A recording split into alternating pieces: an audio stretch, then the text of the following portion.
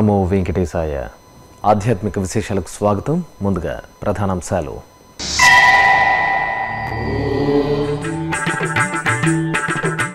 తిరుమల శ్రీవారి సేవా సదన్లో TTD chairman ప్రత్యేక పూజలు. శ్రీవారి సేవకులకు అందుబాటులో భవన సముదాయాలు.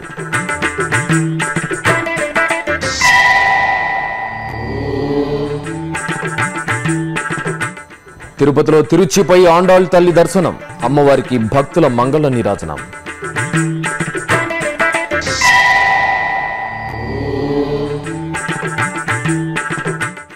బ్రహ్మోత్సవాలకు సిద్ధమైన కబ్రతీర్థం శ్రీనివాస మంగాపురం.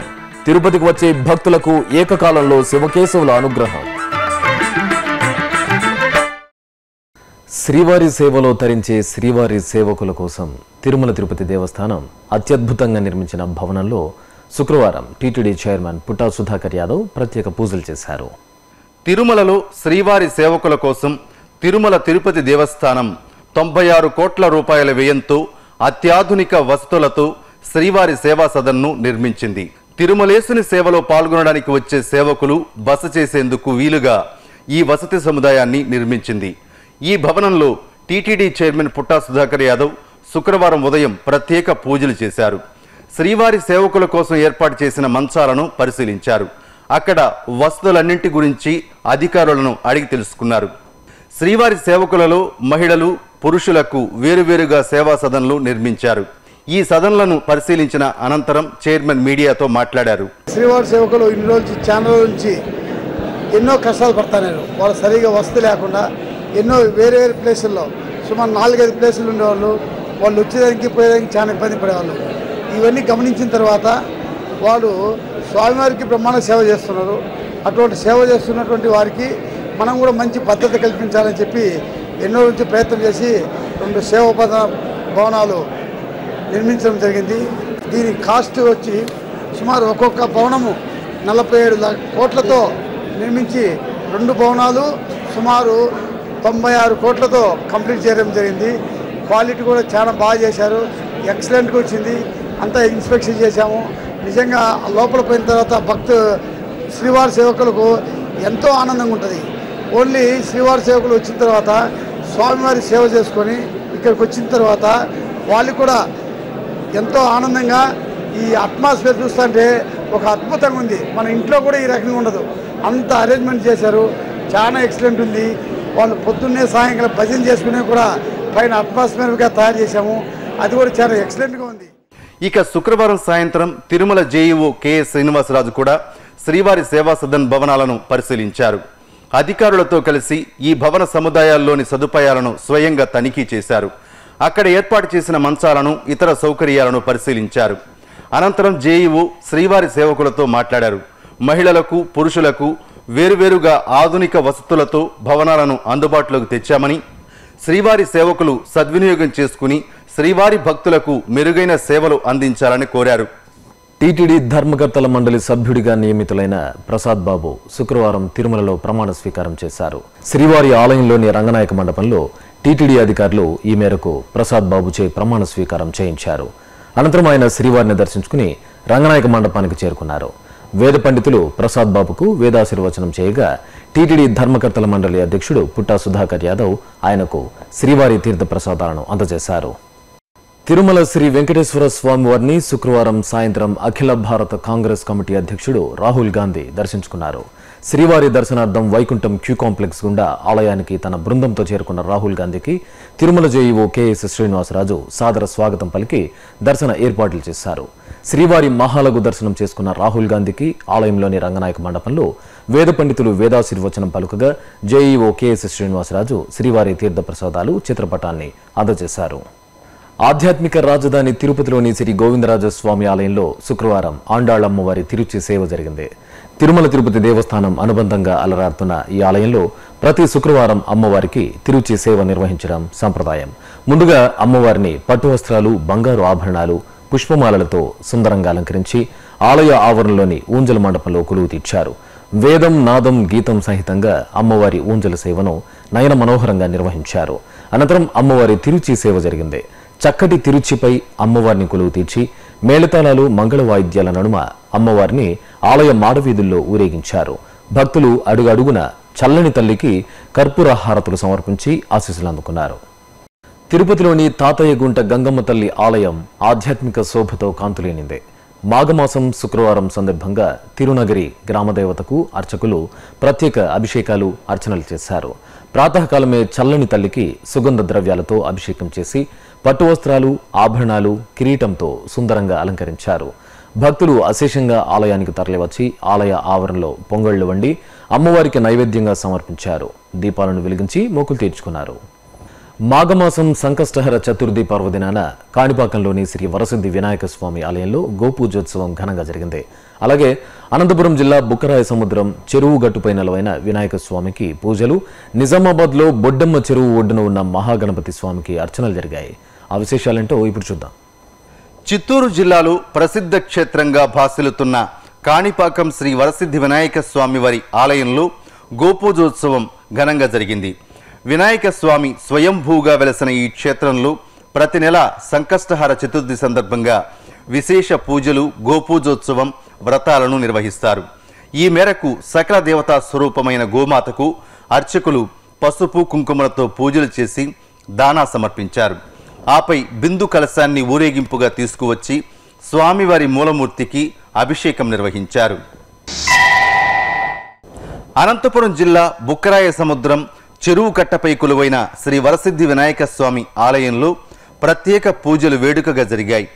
ఆహ్లాదకర వాతావరణంలో చెరువు గట్టుపై అనుగ్రహిస్తున్న ఈ ఆలయంలో సంకష్టహర చతుర్థిని పురస్కరించుకుని ప్రాతకాలమే స్వామివారికి వివిధ రకాల ఫలరసాలు పరిమళ ద్రవ్యాలతో అభిషేకాలు నిర్వహించారు. తరువాత సుగంధభరిత పూలమాలలతో ఏకదంతుని అందంగా అలంకరించారు. అష్టోత్తరాలను పారాయణం చేస్తూ గరిక పూజలు చేశారు. భక్తులు గణనాథుని దర్శించి తీర్థప్రసాదాలు అందుకున్నారు.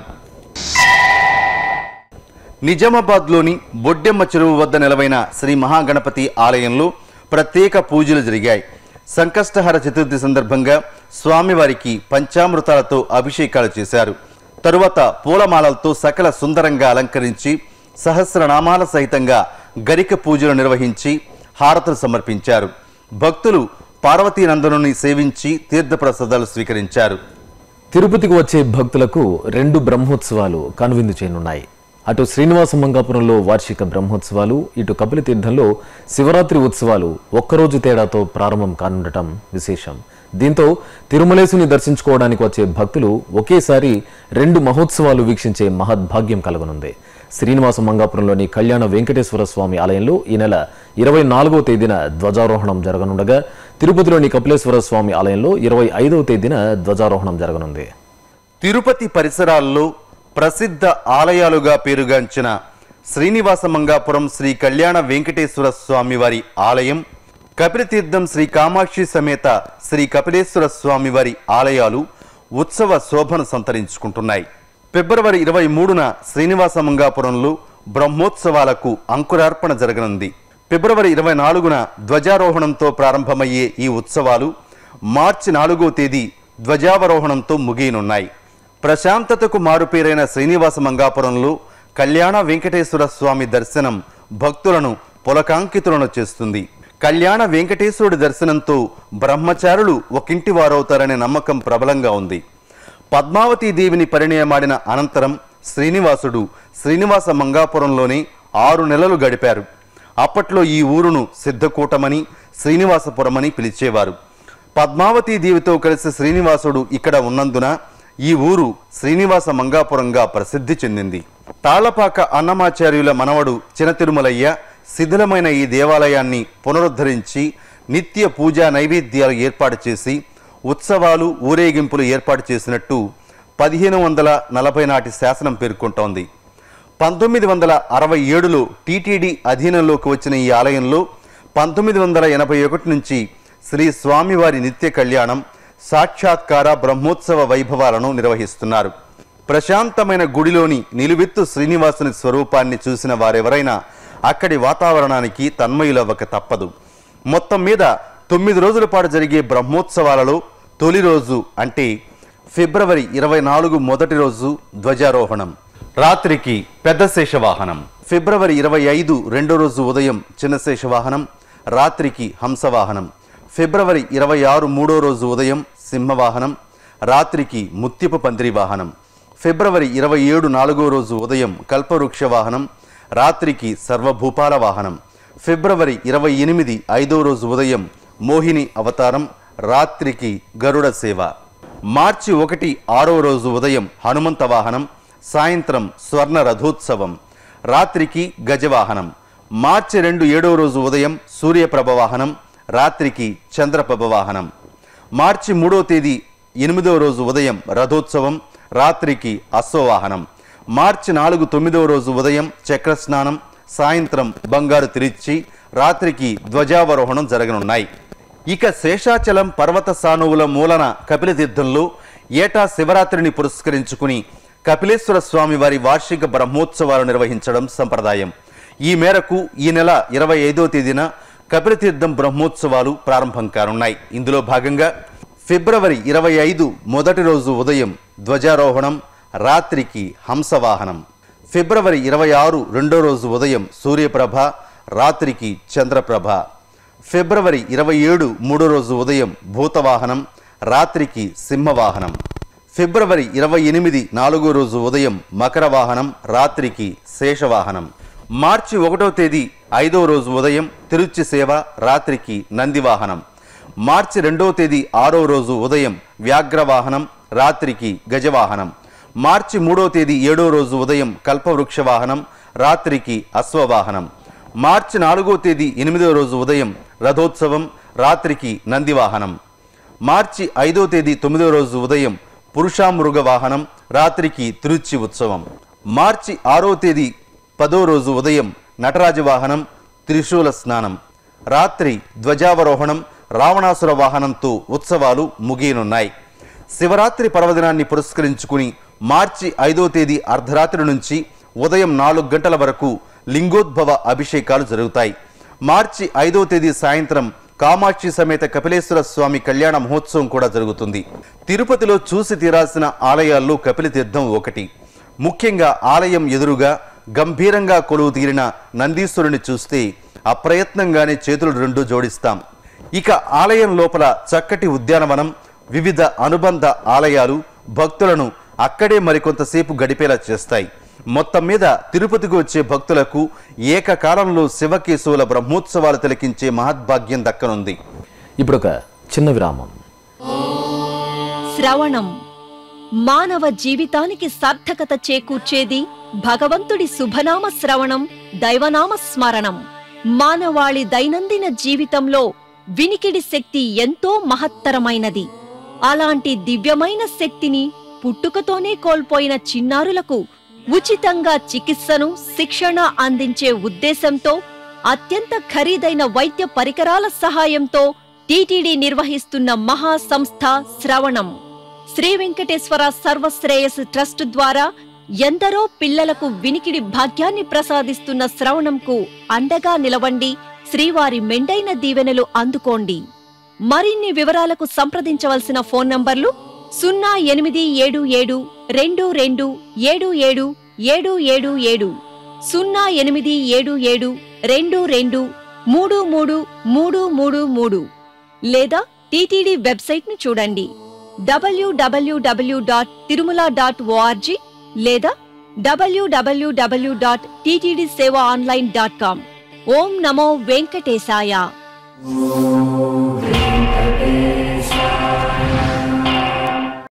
ఆధ్యాత్మిక విశేషాలకు తిరిగి స్వాగతం. హైదరాబాద్లోని బర్కత్పుర శ్రీ రాఘవేంద్ర మఠంలో రథోత్సవం జరిగింది. అలాగే నల్లకుంటలోని దుర్గాభవాని ఆలయంలో ఆంజనేయ స్వామి విగ్రహ ప్రతిష్టాపన జరిగింది. ఈ విశేషాల సమాహారం ఇప్పుడు చూద్దాం. హైదరాబాద్ బర్కత్పూర్లోని శ్రీ రాఘవేంద్ర స్వామి మఠంలో రథోత్సవం ఘనంగా జరిగింది. శ్రీ రాఘవేంద్ర స్వామి బృందావనానికి అభిషేకం చేశాక స్వర్ణ కవచం స్వర్ణాభరణాలు ముత్యాల హారాలు పూలమాలలతో సుందరంగా అలంకరించారు. సహస్ర నామార్చనలు చేసి వెండి రథంపై కొలువుదీర్చారు మధ్వ సంప్రదాయ రీతిలో భజన బృందాల నడుమ రాఘవేంద్ర స్వామి వెండి రథోత్సవం వేడుకగా జరిగింది. భక్తులు స్వామివారిని సేవించి తరించారు. అలాగే నల్లకుంటలోని శివయ్య దుర్గా భవానీ ఆలయంలో శ్రీ ఆంజనేయ స్వామి వారి విగ్రహ ప్రతిష్టాపన ఉత్సవం కనుల పండుగగా జరిగింది. ఇందులో భాగంగా యాగశాలలో గణపతి పూజ పుణ్యాహవాచనం చేసి నవ కలశ స్థాపన నిర్వహించాక దేవీ దేవతల అనుగ్రహాన్ని కోరుతూ వేద పండితులు ఆగమోక్తంగా హోమాలు నిర్వహించారు. శ్రీ ఆంజనేయ స్వామి గణపతి పరమేశ్వరుడు నందీశ్వరుడు శిలామూర్తులను జలాదివాసం ధాన్యాదివాసం తదితర కార్యక్రమాలను నిర్వహించారు. ఆపై వేదమంత్రాలు మంగళ వాయిద్యాల నడుమ ప్రతిష్టాపనోత్సవం నిర్వహించారు. ఇక కాచిగూడలోని కన్నడ శిక్షణ సమితి శ్రీ నృపతుంగ విద్యాలయంలో అఖిల భారత మధ్వ మహామండల సమ్మేళనం జరిగింది. నృపతుంగ విద్యాలయం యాభై సంవత్సరాలు పూర్తి చేసుకున్న సందర్భంగా శ్రీ రాఘవేంద్ర స్వామి బృందావన సమితి ఆధ్వర్యంలో సమ్మేళనాన్ని వేడుకగా నిర్వహించారు. ఈ కార్యక్రమంలో ఉడుపి పెజావర్ పీఠాధిపతి శ్రీ విశ్వేశతీర్థ స్వామీజీ పాల్గొని అనుగ్రహ భాషణం చేశారు. ఈ సందర్భంగా స్వామీజీని ఘనంగా సన్మానించారు. పలువురు సంస్థ ప్రతినిధులు సనాతన ధర్మం బాధ్యతల గురించి మధ్వ సంప్రదాయ ఔన్నత్యాన్ని వివరించారు. చిత్తూరు జిల్లా పలమనేరులోని శ్రీ కాశీ విశ్వేశ్వర స్వామి ఆలయంలో వార్షిక బ్రహ్మోత్సవాలు వైభవంగా జరుగుతున్నాయి. ఉత్సవాల సందర్భంగా కామాక్షి సమేత కాశీ విశ్వేశ్వర స్వామివారిని సకల సుందరంగా అలంకరించి పూజలు చేశారు. తర్వాత పుష్పశోభితంగా అలంకరించిన రావణ బ్రహ్మ వాహనంపై స్వామి అమ్మవార్లను కొలువు తీర్చి భాజా భజంత్రీల నడుమ పురవీధుల్లో ఊరేగించారు.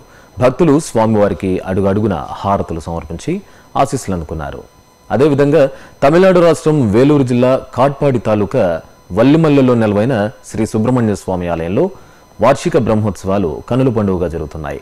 ఉత్సవాల్లో భాగంగా సత్యనారాయణ స్వామి వ్రతాలను ఆచరించారు. రమాసమేత సత్యనారాయణ స్వామి చిత్రపటాన్ని కొలువు తీర్చి చక్కగా అలంకరించి అర్చక స్వాముల సూచనల మేరకు భక్తులు సామూహికంగా సత్యనారాయణ స్వామివారి వ్రతాలను జరుపుకున్నారు. ప్రకాశం జిల్లా ఒంగోలులోని శ్రీ మహాలక్ష్మి అమ్మవారి ఆలయంలో క్షీరాభిషేకం జరిగింది. మాఘమాసం శుక్రవారం సందర్భంగా అమ్మవారికి క్షీరాభిషేకాన్ని నిర్వహించాక వర్ణమయ పుష్పాలు ఆభరణాలతో చూడచక్కగా అలంకరించారు. ఆపై అష్టోత్తర శతనామార్చనలు సహస్రనామార్చనల సహితంగా అమ్మవారికి కుంకుమ పూజలు నిర్వహించి హారతులు సమర్పించారు. తూర్పుగోదావరి జిల్లా కత్తిపూడి గ్రామ శివారు సీతంపేటలోని శ్రీ దుర్గా మీనాక్షి అమ్మవారి ఆలయంలో ప్రత్యేక పూజలు కన్నుల పండుగగా జరిగాయి. అమ్మవారికి అభిషేకాలు చేశాక పట్టు వస్త్రాలతో అందంగా అలంకరించి సహస్రనామాల సహితంగా కుంకుమార్చనలు నిర్వహించారు. నిమ్మకాయల దీపాలు వెలిగించి అమ్మవారికి నివేదించారు. అలాగే తూర్పుగోదావరి జిల్లా తుని మండలం పోలవరం గ్రామం శ్రీ శ్రీరామచంద్రమూర్తి కుమారులైన లవకుశల జాతరతో పండుగ వాతావరణం నెలకొంది. ఇక్కడ ఏటా మాఘమాసంలో లవకుశల జాతర నిర్వహించడం ఆనవాయితీ. ఈ సందర్భంగా భక్తులు ఫలాలను లవకుశులకు నైవేద్యంగా సమర్పించి మొక్కులు తీర్చుకున్నారు. కర్నూలు జిల్లా నంద్యాలలో నెలవైన వివిధ ఆలయాలు ఉత్సవ శోభను సంతరించుకున్నాయి. మాఘమాసం శుక్రవారం సందర్భంగా పలు దేవాలయాల్లో స్వామి అమ్మవార్లకు నిర్వహించిన విశేష పూజాదికల్లో భక్తులు పాల్గొని తన్మయలయ్యారు. ఆ విశేషాలను తెలుసుకుందాం. కర్నూలు జిల్లా నంద్యాలలో కొలువైన శ్రీ వెంకటేశ్వర స్వామివారి ఆలయంలో మాఘమాస పూజలు నేత్రపర్వంగా జరిగాయి. వేకువజామునే స్వామివారికి వివిధ ఫలరసాలు సుగంధభరిత ద్రవ్యాలతో చక్కగా అభిషేకం చేశారు. అభిషేక ద్రవ్యాల్లో ఉత్సవ ప్రియుని దర్శించుకుని భక్తులు తన్మయులయ్యారు. గోవింద నామస్మరణలు చేసి పరవశులయ్యారు. అలాగే నంద్యాలలోని శ్రీ చౌడేశ్వరీదేవి అమ్మవారి ఆలయంలో అమ్మవారు ప్రత్యేక అలంకారంలో భక్తులను దివ్యంగా కటాక్షించారు. మాఘమాసం శుక్రవార విశేష పర్వదినాన చల్లని తల్లికి సుగంధ ద్రవ్యాలతో అభిషేకం చేశాక పట్టు వస్త్రాలు వెండి రజిత కవచాలు నిమ్మకాయల దండలు పూలహారాలతో సుందరంగా అలంకరించారు. భక్తులు అమ్మవారిని దర్శించుకుని వడిబియ్యం సమర్పించి మొక్కులు తీర్చుకున్నారు. ఇక నంద్యాలలోని శ్రీ అన్నపూర్ణాదేవి సమేత శ్రీ కాశీ విశ్వనాథ స్వామి ఆలయంలో ధ్వజస్తంభ ప్రతిష్టాపనోత్సవాలు కనుల పండుగ జరిగాయి. గణపతి పూజ పుణ్యాహవాచనం ఋత్విక్ వరణం కలశ స్థాపన మూలమంత్ర జపాలను నిర్వహించారు. భక్తులు ఈ క్రతువులో పాల్గొని తీర్థప్రసాదాలు స్వీకరించారు. తిరుమలలో జరిగిన సాంస్కృతిక కార్యక్రమాన్ని ఇప్పుడు కళానీరాజంలో వీక్షిద్దాం.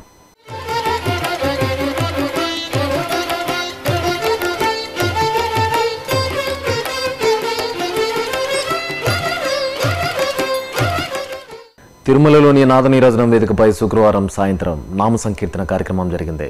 చెన్నైకి చెందిన రాజేష్ శంకర్ బృందం ఆలపించిన నామ సంకీర్తన భక్తుల్లో భక్తి భావాలను కలిగించింది.